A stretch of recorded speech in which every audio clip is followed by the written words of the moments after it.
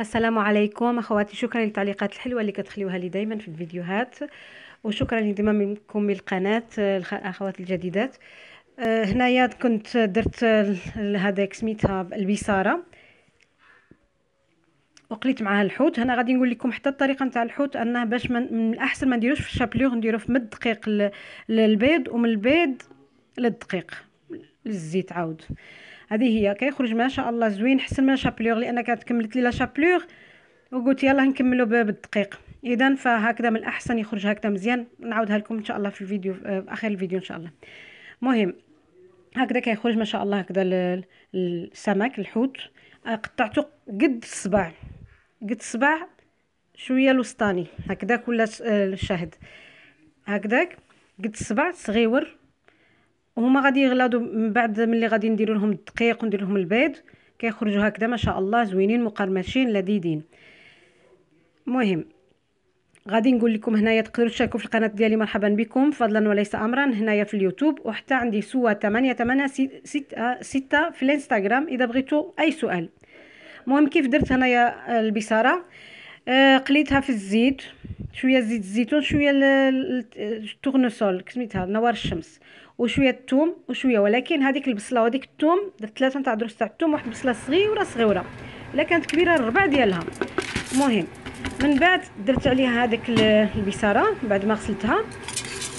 إذا فنقليها فيها في هذاك وندير لها شوية الملح ومن بعد شوية العطرية درت لها شوية توابل كركم سكينجبير وليبزار وشوية واحد الضامن تاع النسمة تاع الخضرة نتاع الخضرة وصافي. من بعد خلطها خلطها ولكن بلا ما تقلى حتى تحمر ولا تحرق لا. غير هكذا ونضيفوا لها المحامي نفرغوا عليها المحامي ومن بعد صافي نخليوها طيب طيب طيب. نقدروا نديروا لها شوية مجهدة ولكن عاود نقصوا لها شوية باش ما تشربش كاع الماء ديالها.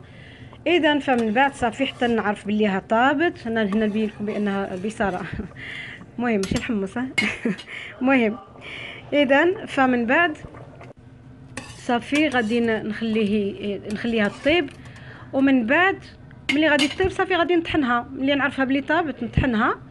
ملي نطحنها صافي نردها عاود شوية على النار إلا كانت فيها شي رغوة ولا نقلعوها لها. ومن بعد قليت هذاك الحوت. هذا هو الحوت. واحد النهار كملت لي هذيك شابلور بقيت نديرها بالدقيق وصافي. إذا الأول في الدقيق والبيض والبيض للدقيق. ونقطعوها غير صغيرة قد الصبع. صافي ماشي كتر. ويجي زين ما شاء الله نبقى نقلبوه. مرة الأولى مرة الزوجة عاود.